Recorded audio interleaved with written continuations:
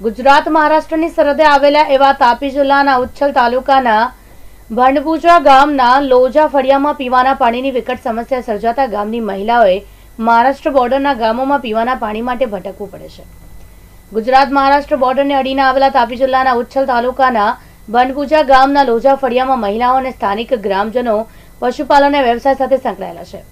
જ્યારે ગામમાં પીવાના પાણીના સ્તર નીચે ઉતરી જતા છેલ્લા સાત મહિનાથી પાણી માટે મહિલાઓએ સરહદી વિસ્તારમાં પાણી માટે ભટકવું પડે છે. અને મોડી રાત્રે મહિલાઓએ ભેગી થઈને એક બેડું પાણી મેળવવા માટે પાંચથી છ કિલોમીટર ભટકવું પડે છે. જ્યારે હાલમાં કોરોનાના કારણે મહારાષ્ટ્રમાં લોકડાઉન હોવાથી ગુજરાતની મહિલાઓને પાણી ભરવા માટે આવું નહીં તેવું અપમાનજનક વ્યવહાર કરવામાં આવે છે. આ ઉપરાંત પીવાના પાણી માટે મહિલાઓના રોજ ઝઘડાઓ પણ થતા રહે છે. આ સમસ્યા માટે સરકારી તંત્રમાં વારંવાર રજૂઆત કરવા છતાં કોઈ કાર્યવાહી કરવામાં ન આવતા આવતા ગ્રામજનોમાં આક્રોશ જોવા મળી રહ્યો છે.